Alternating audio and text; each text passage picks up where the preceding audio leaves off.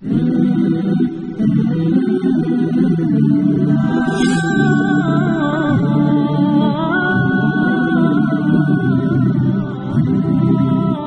الله الرحمن الرحيم. والصلاة والسلام على سيد الأنبياء وأشرف المرسلين. النور الأزهر والمرسل الأكرم محمد وعلى آله سفراء الله في خلقه أجمعين.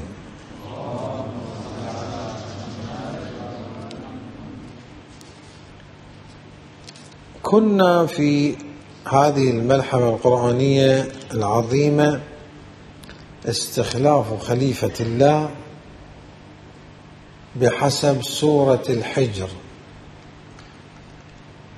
ومضت السور السابقة. هذه الملحمة بحسب سورة الحجر. وصلنا إلى هذا الموضع من الآية الكريمة. قال فاخرج منها فإنك رجيم.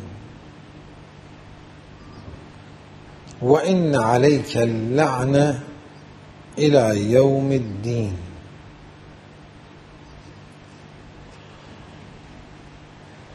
فتساؤلان مر بنا أمس. التساؤل الأول أن اللعنة عقاب وجزاء مستعجل يعني قبل يوم الحساب. ما الوجه في ذلك؟ وتساؤل آخر مر بنا وهو أن هذا الجزاء والعقوبة لماذا ينقطع يوم الدين؟ ولماذا لا يستمر؟ فكأنما صورة ما ذكر من العقاب متعاكسة مع مثلا ما هو مرسوم لدينا من نظرية العقاب ونظرية الجزاء الإلهي ونظرية الحساب وما شابه ذلك. فما الوجه في الجواب عن هذان التساؤلان؟ نقطة مرت بنا أولا وهي مهمة أن البحث عن العوالم الأخروية في كلام العرفاء وفضلا عن الفلاسفة فضلا عن المتكلمين. البحث في تلك العوالم لم ينجز منه إلا الشيء القليل. ولي وليس ما أنجز منه الشيء الكثير. رغم أن ما أنجز يحتاج إليه جهد جهيد طبعا بغض النظر عن ما أنجز وبسط ونقح فيه في غث سمين هذا بحث آخر. لكنه هذا الذي أنجز ليس بالشيء اليسير يعني بالقياس إلى المتعلم في البدء. يحتاج إليه جهد جهيد يستوعبه. ويحيط به ويمر به. لكن ليس القياس إلى المبتدئ. الكلام القياس إلى ما هو في الواقع والحقيقة من سعة.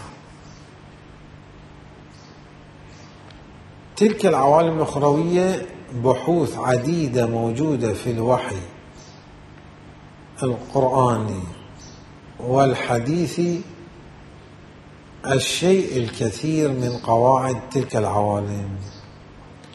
لم تنقح ولم تقرر.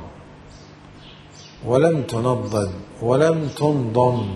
ضمن منظومة معارف يسير عليها الباحث. الشيء الكثير منها بل الأكثر.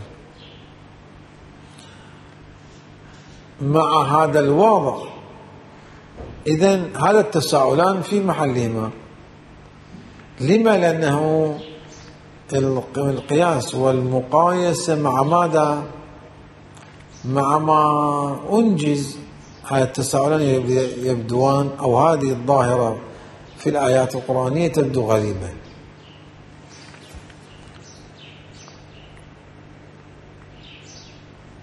النقطة الأخرى اليوم نفيض فيها. نقطتين مرتا أمس النقطة الثالثة. النقطة الأخرى مهمة جدا جدا جدا. وإجمالا هذه النقطة تنبه لها جملة من المتكلمين جملة من الفلاسفة جملة من العرفاء جملة من المفسرين. ولكن يحتاج إلى مراعاتها الشيء الكثير. ما هي هذه النقطة؟ هذه النقطة هي أن شؤون البدن يختلف عن شؤون الروح. في العوالم. وقواعد المعرفة لشؤون البدن في العوالم تختلف عن قواعد المعرفة لشؤون الروح. بل أكثر من ذلك.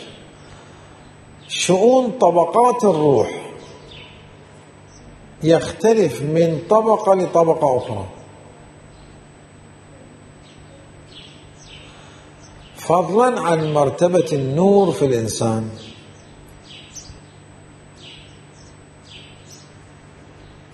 يختلف شأنه عن شأن ما دون من طبقات. وهذه قاعدة قاعدة قاعدة أقعدية أصيلة متأصلة أصولية مؤصلة صيصلية على كل مهمة جدا. ما حرر ما أنجز من جملة من المعارف. غالبها في الكلام في الفلسفة. غالبا متركزة على شؤون البدن. شأن البدن هنا شأن البدن في البرزخ في القبر شأن البدن في الرجعة شأن البدن في عالم القيامة في الجنة هلما جرى. شأن البدن والأبدان مع أن البدن طبعا لعلمكم البدن هم له أبدان وليس بدن واحد للإنسان.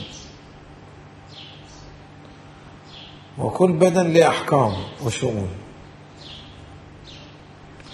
غير شؤون الروح وإن كانت الروح هي لا تسمى الروح روح إلا بلحاظ قالب كما يقول الإمام الصادق في بيان بديع موجود في الكتاب الاحتجاج في الفصل الباب المرتبط بالإمام الصادق. هناك يبين سلام الله عليه أن الروح دائما دا ما تسمى الروح روح يعني إلا مع قال الجسماني لطيف. الآن قال واحد له قوالب جسم واحد أو أجسام مر بنا الروح طبقات.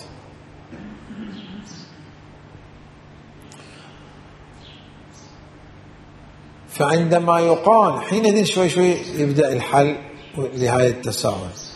عندما يقال الجزاء متأخر هنا عمل لا كذا فلان هذا هذا الموازين جزاء وعقوبات متأخرة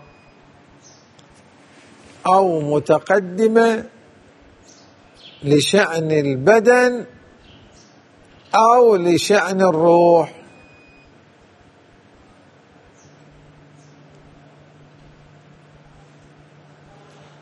شأن عالم الأجسام والأبدان أو شأن عالم الأرواح.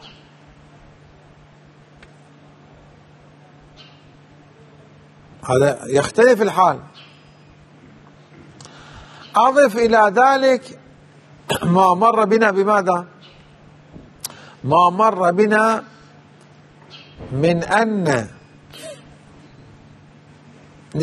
يعني هذا الإضافة هي ليست إضافة توضيح لنفس النقطة. إذا يتذكر مر بنا أن كلما يتصاعد تتصاعد العوالم عروجا وقربا منه تعالى الجزاء ماذا معجل أو مؤجل؟ معجل. الجزاء يكون أشد أو الجزاء يكون أقل؟ الجزاء يكون أشد. المحاسبة سريعة أو بطيئة؟ لا تكون سريعة. المحاسبة تكون دقيقة أو يسيرة؟ لا تكون دقيقة. هذا مر بنا تتذكرون هذا الذي مر بنا هو في الحقيقة تفسيره هو هذا المطلب. باعتبار أن شؤون طبقات الروح تختلف عن شؤون البدن. ثم البدن أيضا شؤون طبقاته تختلف عن بعضها البعض هذا الذي قرره المتكلمون أو الفلاسفة أو كذا أو العرفاء هذا بلحاظ البدن الغليظ أو الأبدان النازل الإنسان في بطء في الحساب وفي الجزاء فيما بعد وفي حساب وكذا. أما بالنسبة إلى الروح والقلب قامت قيامته. قام حسابه قام جزاؤه قامت ساعته.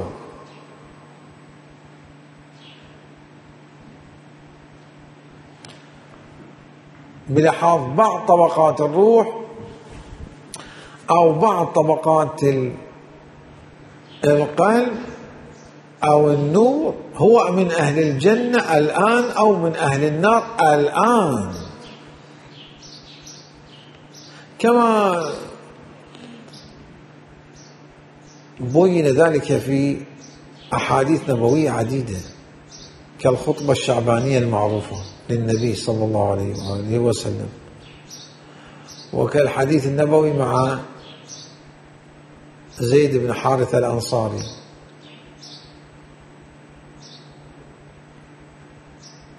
أو حارثة بن مالك الأنصاري عفوا اسمه. وغير غيرها من الأحاديث النبوية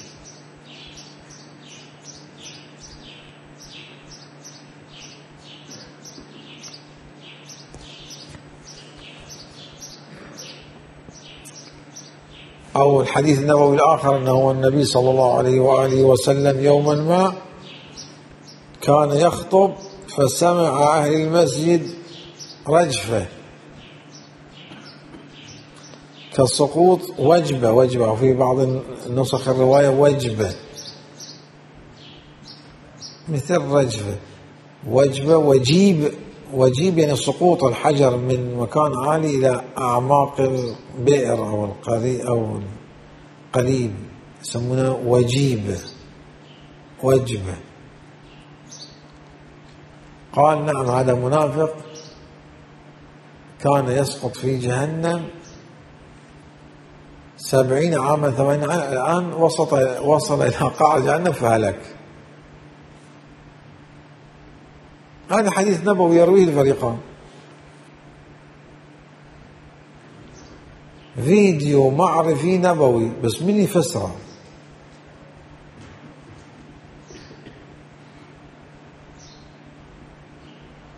هذا البيان في الحديث النبوي يبين بأن هذا الجزاء مو متأخر. إزاي مو الجزاء البرزخي أو الجزاء جزاء كأنما يبين صلوات الله عليه وآله جزاء الأخروي الأبدي.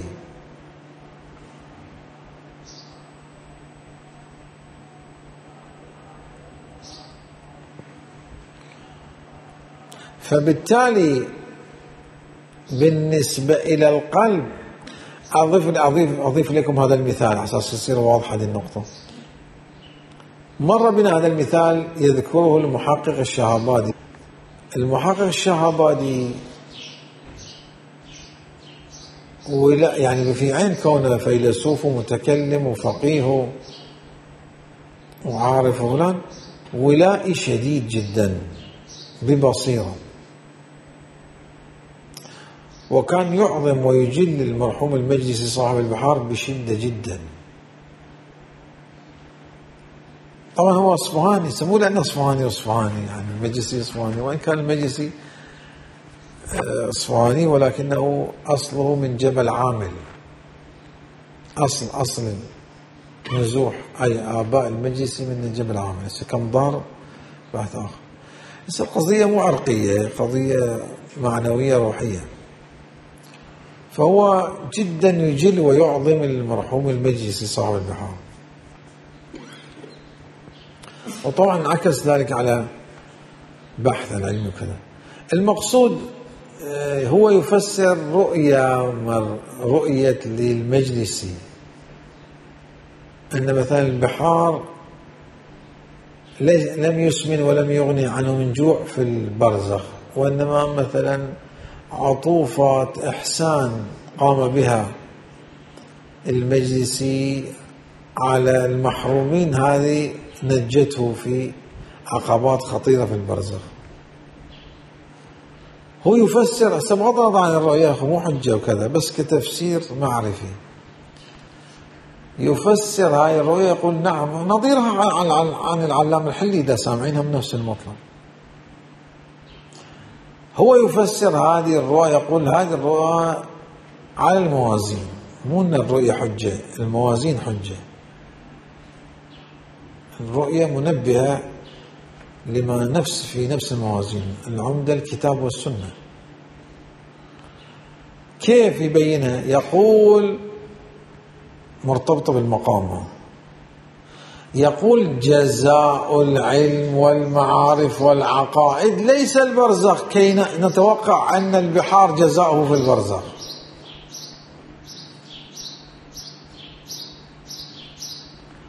بل يقول جزاؤه ليس القيامة. النعيم في القيامة. بل جزاؤه ليست جن الجنة الأبدية الجسمانية. لأن الجنة الأبدية جسمانية فوق لكن لا تنحصر الجنان الأبدية في ماذا؟ ها؟ في الجنان ها؟ الجسمانية. طبقات. جنة معنوية أيضا موجود كما قال بذلك وأفتى عقائديا بذلك الصدوق في كتاب الاعتقادات. وإن أشكل عليه الشيخ المفيد. ولكن متأخري الأعصار في البحث العقلي قال الحق مع الصدوق وخطأ الشيخ المفيد في نقده على الصدوق. يعني معاني عقلية عظيمة في الوحي سجلها الصدوق. على كل لسنا في صدد الخوض في هذا المطلب. في صدد شيء آخر كلام المحقق الشهابادي. يقول جزاء العقائد ليس جسم. جزاء العقائد هذا أمور جنان معنوية. ليست جنان برزخية ولا جنان جسمانية أخروية أبدية. جنان المعارف والعلوم جنان نورية عالم النور. زين خذ هذا المطلب. نيجي للمبحث اللي نحن فيه. الجزاء يتأخر في بلحاظ الأجسام الحساب سيأتي الساعة ستقوم. كذا على بلحاظ الجناء بالجسم. الأجسام النازلة بلحاظ عالم النور قامت قيامته. قامت القيامة جف القلم. الحساب انتهى. أقصد بلحاظ الإنسان بلحاظ عالم المعارف من أصحاب اليمين أصحاب الشمال. يعني ليس هناك تأخر بين العمل والحساب والجزاء. العمل هو في القلب ها القلب في القلب والفكر والعقل. العمل هو والجزاء هو والحساب هو والجزاء هو في دفعة واحدة.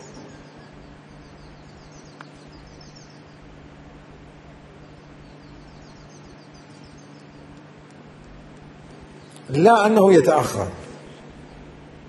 سريع الحساب هنا شديد العقاب.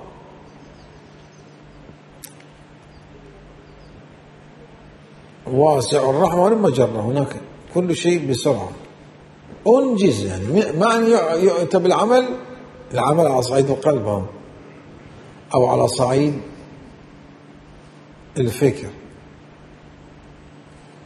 ما أن ينجز فينجز.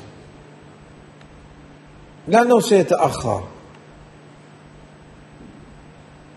زين هذا ما مبحوث في علم الكلام. اي طبعا وليكم. ما مبحوث في البحوث الرسمية في الفلسفة إي طبعا. ولا في البحوث الرسمية في العرفان طبعا. بس هذا موجود في ثنايا علم التفسير وعلم الحديث ولم يجب وبعض الإشارات موجودة في العلوم الأخرى الكلام أو الفلسفة والعرفان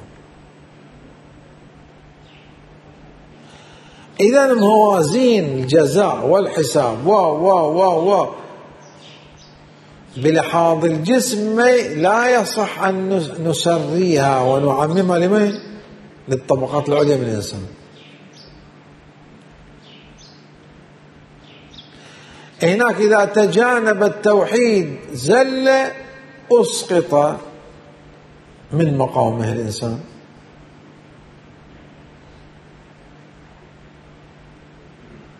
حساب سريع كيف قصقصت أجنحة فطرس هكذا. ينزل عن مقامه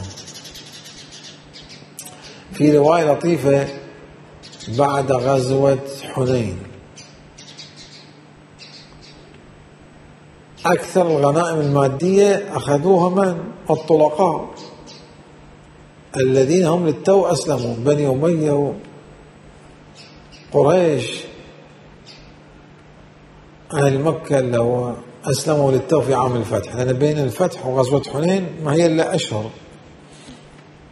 فتحت مكة ثم غزوة حنين.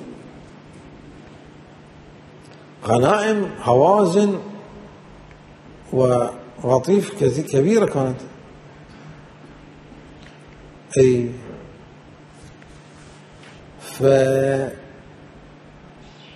أكثر الغنائم هكذا. الأنصار احتجوا. واحد منهم قام بعد تقسيم الغنائم قال يا رسول الله وبعد الجهاد والفتح والنصر وكذا الغنائم تصير لقومك. وحنا جاء أنت جاء كافحت بنا الأمم وجاهدت بنا الأمم إحنا درعك الأيمن وكذا. وصلت المواصيل والنهاية هكذا تصير الجزاء. فالنبي تريث في الجواب. خاطب الأنصار أكلكم على ما يقول؟ قام واحد ثاني قال نعم. النبي أيضا تريث. مرة ثالثة أكلكم على ما يقول هذا؟ قام الثالث قال نعم. في الرواية أن الله عندما قال الثالث نعم استوجب اليوم أهبط نور الأنصار. أهبط الله نور الأنصار. كان نور الأنصار متوقي هبط. هذا النور الذي جوزوا به عقيدة ومعرفة وصلوا إلى جنان نورية أنزلوا عنها. أخرج منها. أهبط ما ليس في الرواية سلبوا بالمرة. أهبط الله نور الأنصار. ثم عاتبهم أو بين لهم النبي يرجعون بالحيوانات والبهائم وأنتم ترجعون برسول الله. أيها أعظم أيها الأنصار. بدأوا يتندمون يبكون. المعذرة لله ولرسوله. استبعد من يصعد نورة مرة أخرى بعد آخر. لاحظوا في المعارف ليس الجزاء والحساب في تواني. هو هو.